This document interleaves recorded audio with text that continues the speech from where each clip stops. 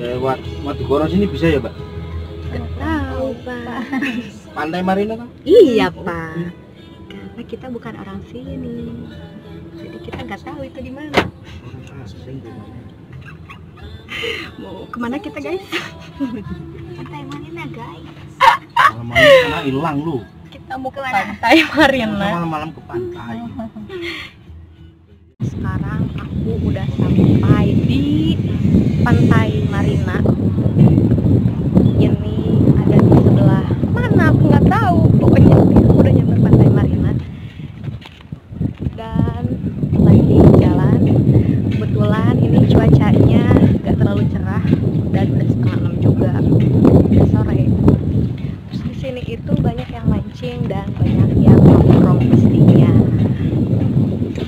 kita jalan kita mencari sesuatu yang aneh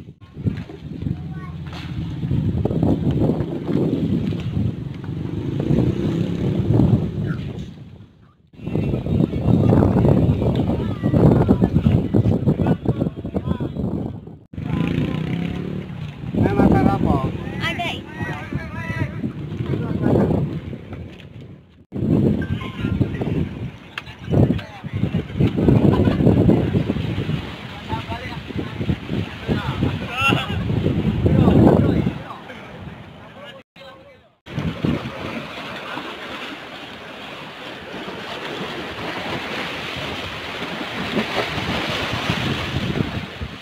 Pantai Marina ini itu salah satu pantai yang terkenal di Semarang tapi sayangnya ini nggak nemu pasir banyaknya batu-batu doang kayak gini tuh tuh batu-batu kayak gini di sini nggak ada pasirnya.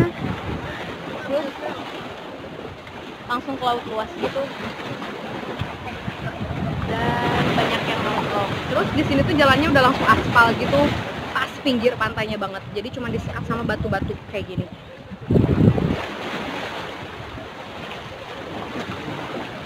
Sayangnya nggak ada matahari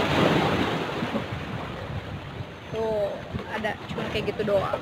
Jadi kurang mantap nah di sini itu sepanjang jalannya banyak banget yang jualan. Jadi buat kalian nggak usah takut kelaparan karena di sini banyak banget yang jualan. Terus sedia tikar gitu jadi kalian bisa duduk-duduk di situ sambil nikmatin pantai.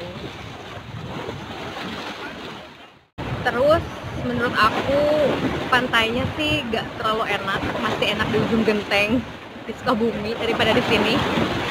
Karena eh, kalau nggak ada pasir itu nuansa pantainya kurang gitu ya. Terus airnya warnanya kayak gini. Aku kayak lagi main di kolam ikan. Bukan kayak lagi main di laut. Tuh kan kalau di ujung genteng tuh kayak biru-biru gitu kan. Kalau di sini tuh airnya warnanya kayak gini. Tapi ini kalau buat ngadem, buat santai, kalau lagi bete, lagi boring sini.